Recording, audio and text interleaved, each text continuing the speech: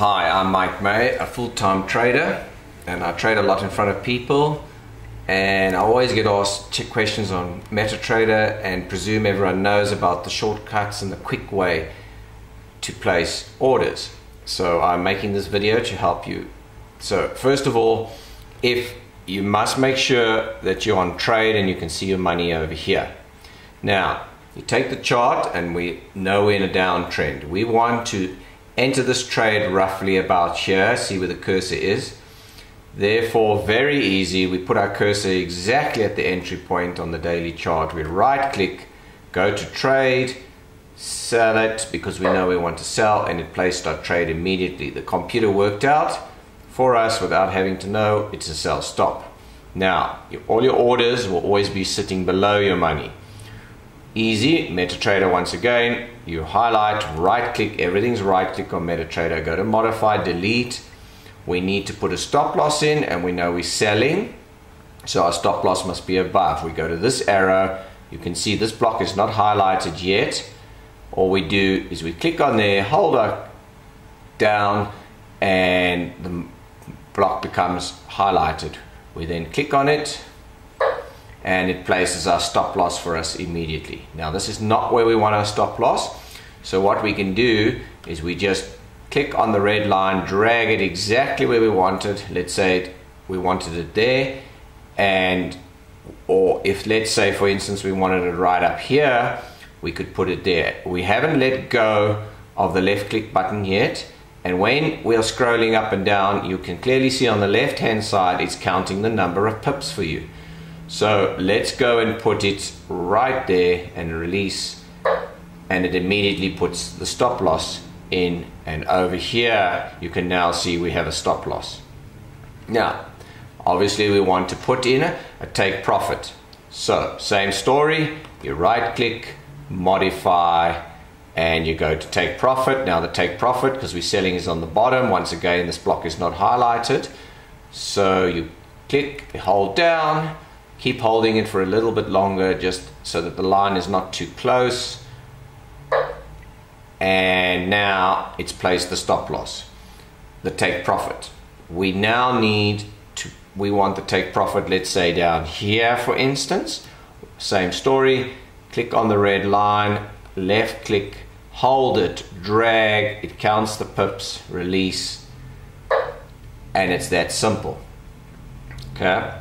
Now, we don't want the order anymore, so what would we do? We go back down to our order, right click, modify, we delete it, and the order's gone. I'm going to repeat this again. Watch this, very easy. I know it's in a downtrend. I want to enter roughly below this swing low here. I put my cursor exactly where I want to enter. Very easy, right click, go to trade, and I know I want to sell it I sell, the computer places it immediate for me. It worked out that it was a sell stop. I don't need to know about sell, stop, sell, buy, limit.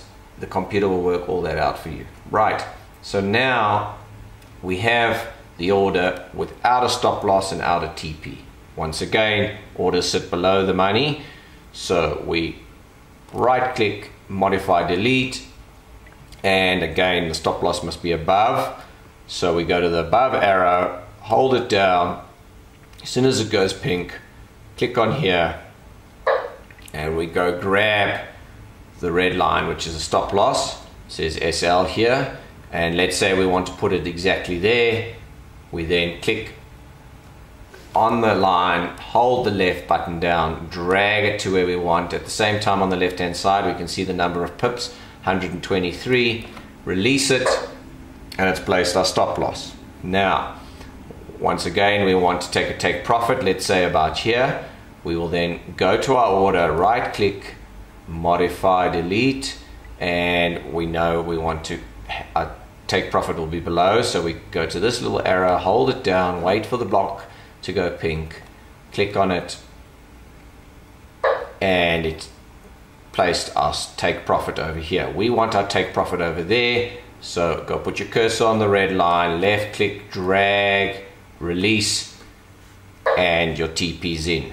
Now, let's say for instance you're not happy with your entry point over here and you wanted to enter over there. You don't need to delete your order. All you do is you drag your green line, which is your entry point, and move it exactly where you want, and it will move your order to the lower point. At the same time, it will equally move your stop loss and your take profit, and your risk to reward here will not change. And you can clearly see that we are risking less than what we are gaining. Always make sure risk to reward is greater than one to one, otherwise you're wasting your time as a trader.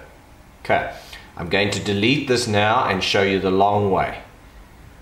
So you go to modify delete, you delete. Now, if you wanted to, let's say, enter here at 13590 and you know the shortcut, the long way would be right click, trade, new order.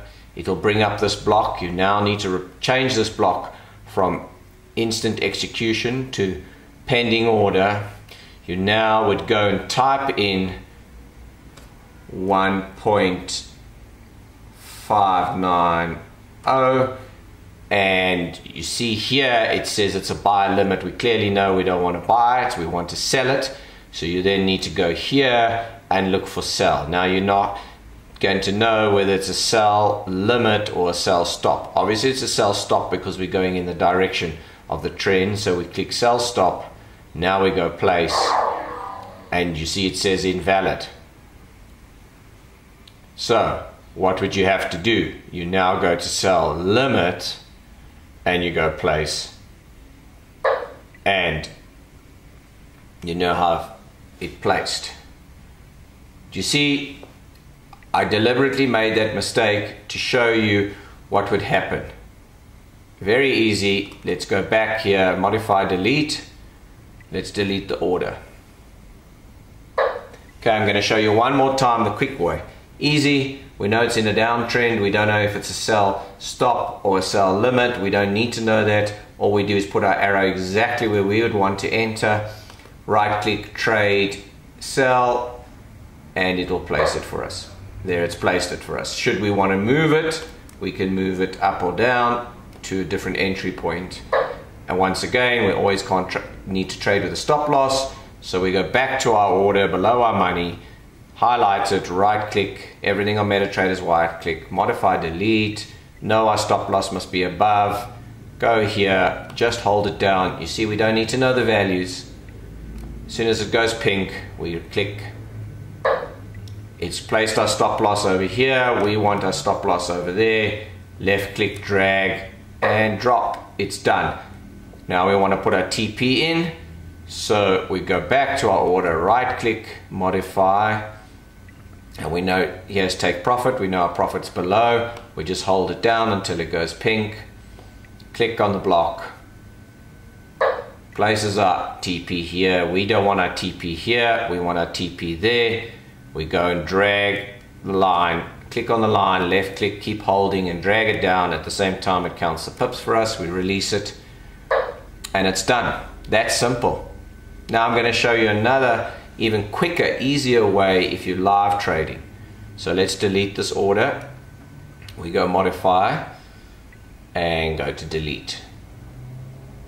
Now you would be live trading off a five minute chart. So we'll change the time frames and we need to live trade. So all you do is you right click, like I said, everything's right click, go to one click trading down here and it pulls up the buy sell block. Here is our lot size, very important to know what your lot size is. We're going to trade 10 cents a pip, which is one micro lot. If we wanted to increase it, we could just up or down, or we could type in the value.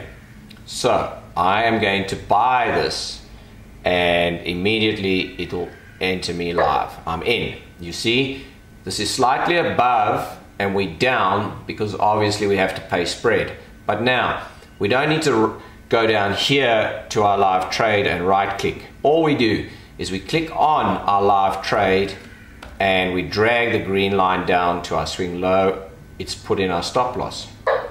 See SL down here and now we have a stop loss. We don't have a TP.